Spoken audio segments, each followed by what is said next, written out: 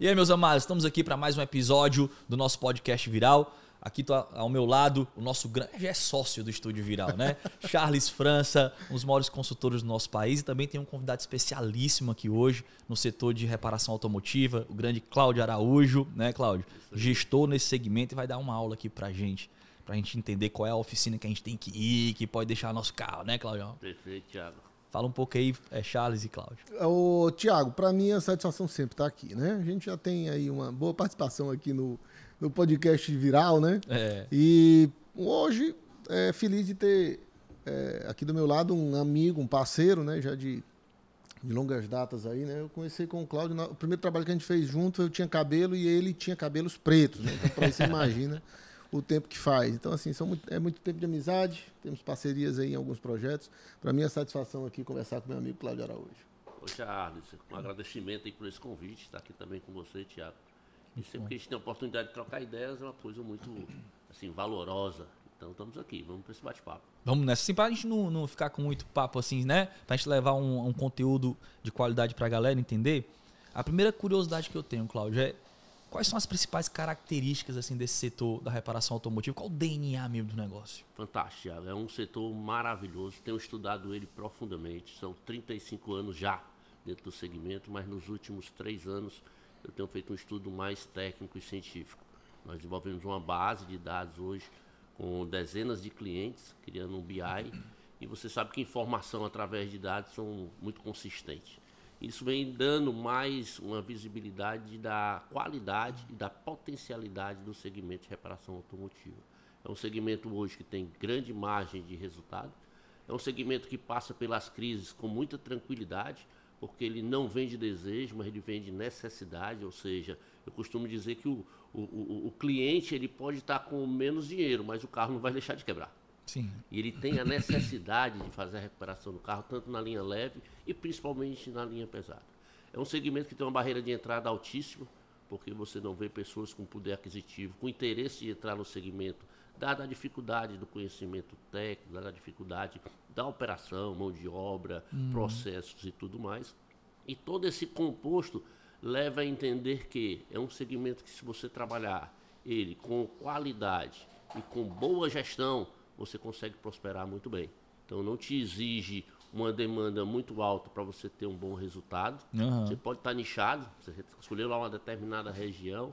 E somando tudo isso, eu diria que hoje ele estaria no top dos segmentos de geração de resultado dentro da nossa economia. Tiago, uma característica, agora só interrompendo um pouquinho aqui, Cláudio, mas é que eu me lembrei. Característica do setor também, exatamente por essa falta de elasticidade. É um setor que é pouco sensível às crises, porque o cara não deixa de levar o carro na oficina. Ele pode, se ele está com pouca grana, ele pode deixar de comprar roupa, ele deixa de fazer uma reforma na casa, ele deixa de comprar alguma coisa que ele está querendo comprar, mas o carro ele não deixa de levar na oficina, que ele não quer ficar sem o carro. Sim. né? O veículo é, facilita o dia a dia dele. Então, é pouco sensível às crises. Aí o que é que acontece? No momento desse que a gente está passando, em que é, o cenário é de inflação, ah, o poder de compra da moeda menor, né? o cara está ali com o dinheiro, digamos assim, com, com o cinto apertado. Característica do momento que o setor está vivendo, né? um aumento do ciclo financeiro. Então, o cara, o cara tem hoje, talvez na oficina, mais necessidade de capital de giro. Faz sentido o que eu estou dizendo, Cláudio? Total. Porque o cara chega para levar o carro, ele não vai deixar de levar o carro na oficina. Mas aí ele quer mais prazo para o pagamento. Então ele vai no cartão de crédito, se ele parcelava em três vezes, agora ele quer parcelar em 12. E isso aumenta o ciclo financeiro. Faz sentido, Cláudio? Perfeito. Inclusive isso em dados, tá, Charles? Nesses últimos três meses, a gente detectando um crescimento absurdo do prazo, do alongamento do prazo de recebimento junto ao cliente. Porque o cliente tem a necessidade, não tem o dinheiro, então ele precisa encaixar isso em termos de parcelas. Eu tenho especificamente um cliente que ele tinha uma taxa média de 53 dias de prazo médio, ele já pulou para 70 dias. Aí onde entra a expertise do, do empresário como gestor. Entender o que é que Essa é uma pergunta que eu ia te fazer agora, porque assim, eu tava imaginando. Deve ser um. ah, na verdade, isso acontece em praticamente todo segmento, mas assim, eu acho que nesse segmento da, da reparação automotiva, deve ter muito aquele cara que tem a expertise técnica e fala, "Não, vou montar minha oficina. Mas às vezes não tem a expertise da gestão, né? Perfeito. E essa seria a pergunta, tipo assim, qual é o, o modelo empresarial? Qual é o empresário mesmo de sucesso nesse segmento, né? Legal. Olha só, esse- essa linha eu vejo em todos os segmentos. Você começa com o perfil do empreendedor, alguém arrojado, alguém com, com coragem para colocar o negócio, ele vai lá com o capital próprio, às vezes o mais arrojado ainda, que ele não tem o capital próprio, ele capta o capital fora uhum. e bota no risco. Uhum. E chega no momento em que a coisa começa a funcionar pela potencialidade do segmento, aí volta para o segmento automotivo. Como tem muito potencial, isso vem de forma muito rápida mas somente uma pequena parcela consegue romper esse lado empreendedor e entrar no lado empresário.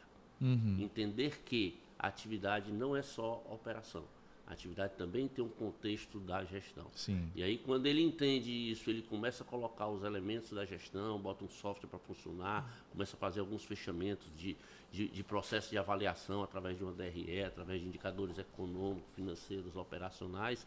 Ele enxerga quais são os pontos que ele pode investir mais entendendo que o que nós já dissemos, o mercado tem grande potencial e você trabalha nos pontos que ele tem potencial, aí a alavancagem é fantástica. Hoje nós defendemos uma, uma performance de lucratividade superior a 20%. Então, Sim. o caminho é esse. Entender que o cara é empreendedor, investe num segmento próspero, mas ele tem que fazer a, a, a romper a barreira do empresário, do empreendedor para o empresário, e aí enxergar que o, o céu aí é, é maravilhoso. O, o que acontece, Tiago, é, é que grande parte dos donos de oficinas hoje, né, a maior parcela, eu diria que a maior parcela, tem estatística sobre isso, aqui eu não estou com o número exato aqui, mas a maior parcela hoje de donos de oficinas eram mecânicos. Começaram, não é isso, Cláudio? Começaram a carreira como mecânicos. Eu acho que uma parcela muito pequena é do cara que herdou a oficina do pai, Sim. né? Ele tem outra formação, ele não é mecânico, mas herdou a, a, a, oficina do pai que era mecânico, né? E uma parcela ainda muito menor é daquele cara que trabalhou numa oficina, não era mecânico nem herdou, e dali ele né, ganhou experiência, como o Cláudio disse aqui agora há pouco. A barreira para a entrada nesse segmento é muito alto. O cara precisa ter experiência. Então você Sim. tem uma parcela ali que entra também no segmento, mas porque trabalhou, às vezes, 20 anos numa oficina e ventilou uma possibilidade de fazer um arrendamento ou de é, entrar, se tornar sócio, depois comprou a parte do, do sócio, né? É, então é uma parcela muito pequena, característica do setor. Então, quando esse cara vem de uma base operacional, o que é que acontece? Ele tem pouca intimidade com a gestão. Quando ele começa a conhecer ferramentas de gestão, aí sim, aí ele vê que ele pode ir muito mais longe, né? Ele não perde o espírito empreendedor e é até bom que ele conserve esse espírito empreendedor para poder pensar talvez em abrir uma outra loja ou duas ou três. Né? O espírito empreendedor, essa chama do empreendedorismo é uhum. importante uhum. para o empresário. Mas quando ele se qualifica, quando ele profissionaliza a gestão, ele leva a oficina dele para outro nível realmente, porque ele sai mais ali daquela base operacional né? e começa a se focar na estratégia, né? na, na parte estratégica, de planejamento e crescimento do negócio. Faz sentido, Claudio? Total. E queria destacar mais um ponto, tá? Ah, é uma atividade muito familiar. Você vê que as oficinas são empresas familiares.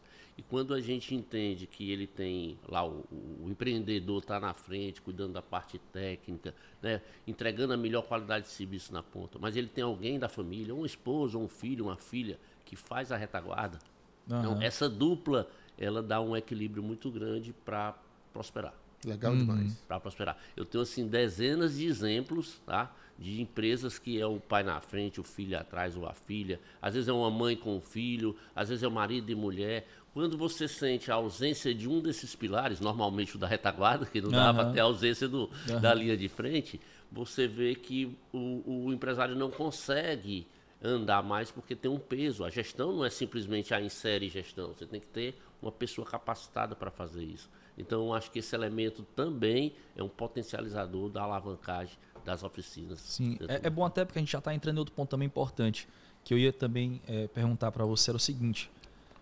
Então, é a gestão somente, e se for só a gestão, se você puder assim citar alguns pontos importantes dentro da gestão para a gente levar uma, é, talvez aí uma, uma espécie de conteúdo que possa ajudar ao cara que está com a oficina e que ela não decolou ainda. Né? A pergunta seria, qual é o diferencial mesmo? E se for gestão, dá uma esmiuçada nisso aí. Qual é o diferencial daquela oficina que tá ali meio que batendo cabeça, né, lutando e a coisa não parece que não engrena, daquela oficina que realmente já engrenou e está num, numa velocidade bacana de crescimento. Interessante, porque a gestão é meio genérico, né? É. E essa gestão a gente divide em quatro blocos. São quatro pilares essenciais que geram equilíbrio entre eles. Então ele precisa na oficina ter uma boa gestão de marketing, que vai cuidar desde a captação do cliente, aí tem toda uma técnica voltada a essa condição.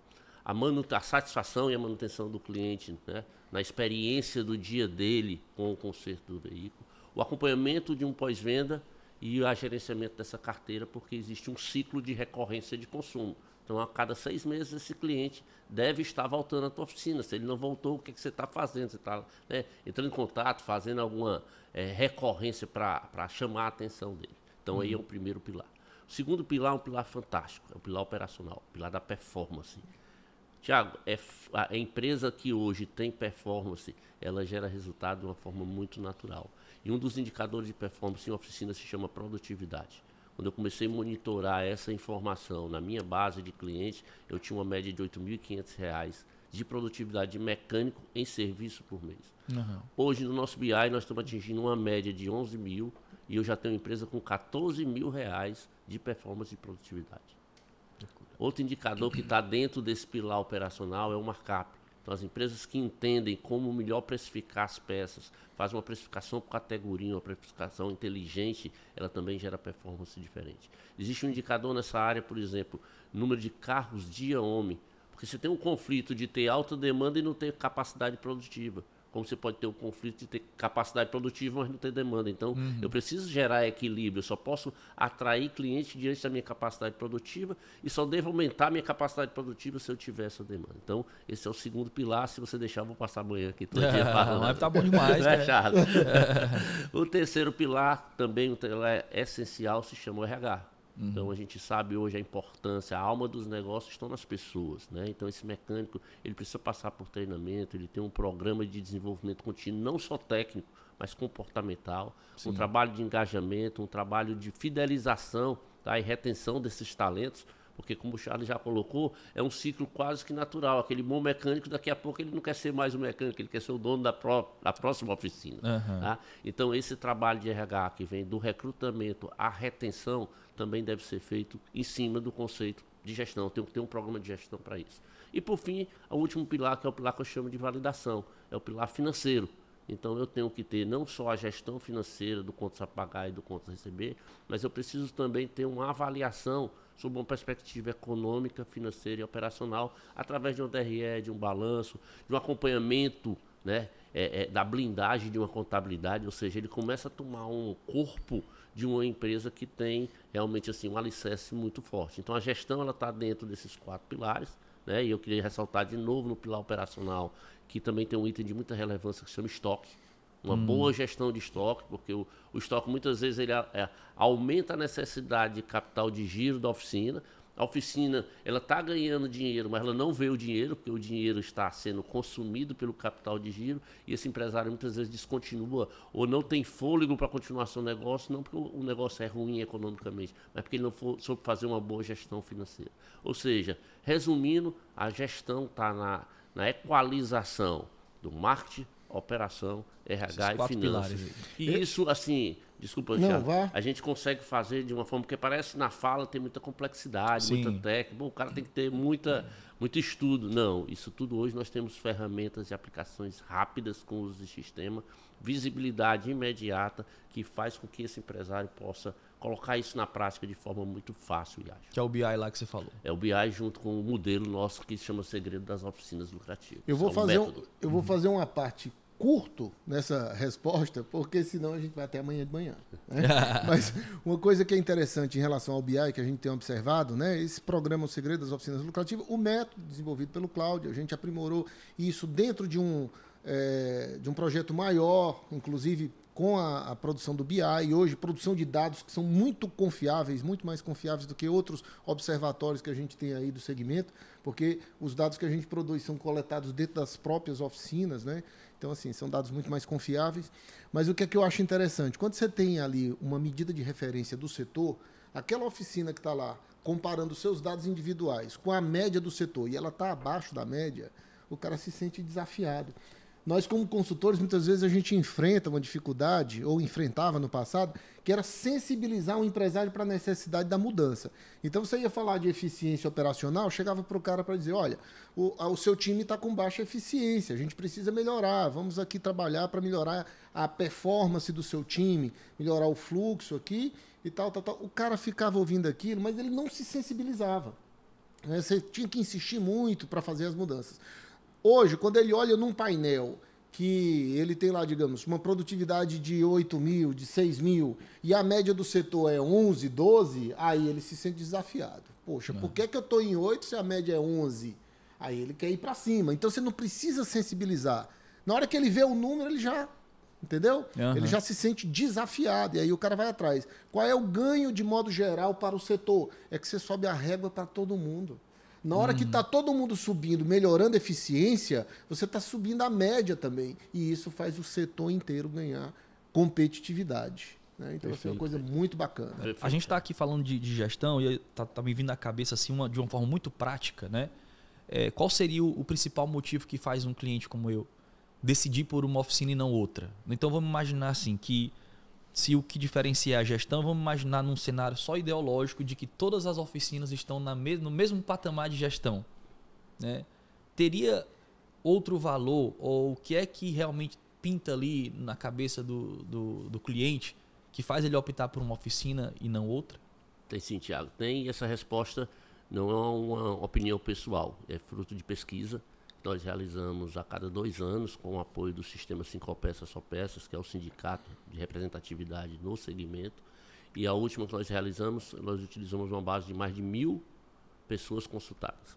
É. Uma pesquisa chamada Pesquisa Expectativa. A gente, numa parada de, de um posto, a gente faz uma abordagem, pergunta onde ele levou pela última vez o carro dele a uma oficina. É. em seguida, a gente diz assim: qual fator determinou a sua escolha? Exatamente a pergunta. exatamente a pergunta, que uhum. chama fator-chave de sucesso. Uhum. E a resposta ela tem que vir assim, é, ela é verdadeira, porque ela vem da mente. Uhum. Eu, sempre digo assim, demora dois segundos para ele responder. É. Porque ele vai buscar informação na caixinha. 63% tá? se chama confiança. É. Então as pessoas procuram a oficina pela confiança. E segundo ponto, que também de, de relevância e vem crescendo nessas estatísticas, se chama proximidade que é outra característica interessante. Então, se tu estabeleceu tua oficina em determinada região, explora a região, porque ali é o teu nicho de mercado. Uhum. Não adianta estar tá dando tiro de canhão para pegar a formiguinha. Então, trabalha Sim. teu marketing nichado, que boa parte da tua, da tua demanda está ali na tua vizinhança, ou por moradia ou por trabalho. Uhum. Certo? E o outro fato super interessante dessa pesquisa, quando a gente fala de preço, é o quarto elemento.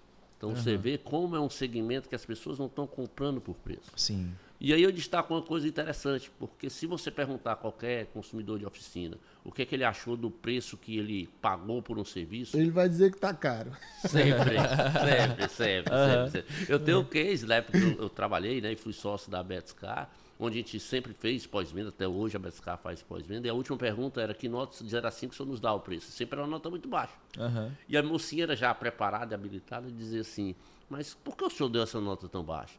Ele disse, o senhor comparou com alguém? Ele disse, é, não comparei, realmente não tem sentido não dizer. Como é que o cara está dizendo que está caro se ele não comparou com, sim, com nada, sim, né? E aí eu digo para os meus clientes, olha, se tu cobrar barato, ele vai dizer que é caro. Se tu cobrar caro, ele vai dizer que é caro. Cobra justo. É, muito bom, muito bom.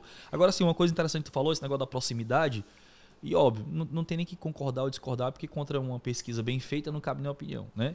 Mas assim, o fator proximidade eu entendo que deve ser muito importante, mas a confiança eu ainda acredito que seja o principal, até pelo meu próprio comportamento. Sim. Eu atravesso a cidade inteira para levar meu carro para uma, uma, oficina distante, porque é o, é o mecânico que me acompanha há anos, né? Então tem esse fator confiança. E voltando para esse fator, o que é que você acha que é determinante para se estabelecer essa, essa confiança entre oficina e cliente? Perfeito. Essa, essa confiança se estabelece no momento da experiência. E o que é experiência? É o momento em que a empresa e o cliente estão em contato. E aí tudo starta no momento em que o cliente chega na oficina, onde para aquele dia e o cliente está tendo um dia totalmente diferente, ruim, porque tirou ele da rotina, ele vai levar o carro dele para gastar dinheiro, ele, ele vai levar um carro que ele não sabe o tamanho do problema, uhum. pode ser ali uma conta de 200 reais, mas pode ser uma conta de 2 mil reais. Uhum. Ele está super inseguro e aí a hora que a empresa começa a criar essa confiança numa coisa chamada acolhimento. Uhum. A equipe de frente de uma oficina que desperta para esse fator de confiança, ela tem que criar um acolhimento e uma conectividade muito grande com o cliente. Uhum. E dizer, fica tranquilo que nós vamos resolver o teu problema da melhor forma e com confiança. Uhum. E aí essa trajetória que é baseada em comunicação, em dados, em tempo, porque quanto mais ágil você for, melhor vai ser para o seu cliente, ele vai criando esse conceito, vai, vamos dizer assim, vai formatando, vai materializando essa confiança dentro das relações. Para isso acontecer, Lembra daquele pilar do RH, tem que estar muito bem sintonizado. Porque você está tratando de uma equipe de atendimento, mas você está tratando também de uma equipe técnica, você também está tratando de uma equipe de logística por trás para dar velocidade na peça. Sim. Então, quanto mais hoje a empresa estiver entendendo essa necessidade de materializar confiança, mais ela consegue reter o cliente e gerar esse estabelecimento de não só de, mais, de, de manter um cliente, mas você ganha um garoto propaganda, porque toda boa experiência você tem desejo de contar para novas pessoas. Sim. Além de que, também por estatística, o cliente geralmente não é o único, o, a pessoa física não é o único cliente, mas a família dele todinha normalmente consome na mesma oficina. Uhum. Né? Então, é muito bacana você ter o cuidado, a tratativa da experiência, não como uma relação operacional de uma atividade, uhum. mas com uma relação também sentimental da relação empresa e cliente. Sim. Você quer só uma medida para entender o quanto é importante ter essa percepção na hora de fazer o acolhimento, na hora de, de causar, de dar uma, oferecer uma boa experiência de consumo de serviço para esse, esse cliente?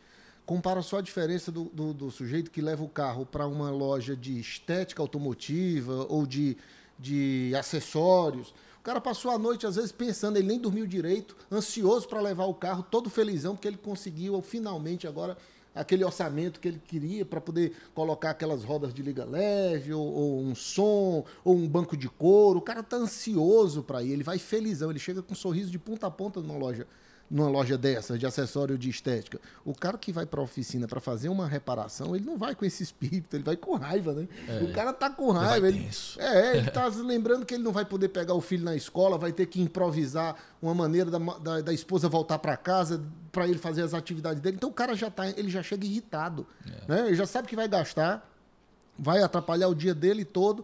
E o empresário do segmento precisa ter esse entendimento. Pô, eu tô, uhum. eu tô recebendo um cara aqui que está vindo aborrecido, ele está chateado. Eu tenho que dar um bom acolhimento. Na hora que você faz o primeiro primeiro atendimento e esse atendimento acolhe, o cara se sente acolhido, ele não vai esquecer isso fácil. Ele vai. Ele, a, a, experiência dele com aquela oficina se torna muito positiva, porque ele vinha com, com a frequência vibratória muito negativa e ele foi né, acalmado, digamos assim, quando chegou na oficina. Aí gera até um sentimento tanto de confiança como de gratidão até, né? Porque o cara, né? Então, assim, muito é bom. muito importante. também isso. que tem crescido muito na oficina são as mulheres. Então, antigamente uhum. a gente não via a possibilidade de uma mulher em uma oficina, até porque a oficina era suja. Né? A grande decoração de uma oficina era geralmente um post de uma mulher uhum. exposta. Tá? É. Então, essa relação de confiança tem feito com que o público feminino se chegue mais. Hoje Muito a gente bom. vê muitas das oficinas já com atendimento de mulheres uhum. na, na, na, linha de frente. Legal. Já existem mulheres mecânicas Uhum. Então dá um ambiente mais assim adequado e isso caracteriza... Vai melhorando o cheiro da oficina, ah, né? Bastante, bastante. É. Tivemos algumas perdas né, com isso. Gente, queria agradecer por esse bate-papo aqui, Cláudio. Muito obrigado aí. Foi uma aula aí. Tenho certeza que quem está nesse segmento aí vai, vai se beneficiar muito dos conteúdos que você passou aqui, compartilhou. Charles, muito obrigado mais uma vez. Charles é, é um professor já aqui, né? Toda vez que a gente senta nessa mesa, a gente aprende aqui com ele. Galera, Maravilha. valeu, um forte abraço e até a próxima, até o próximo episódio.